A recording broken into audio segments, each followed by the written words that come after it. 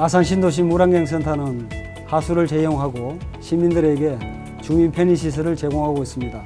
많은 관심 부탁드립니다. 감사합니다.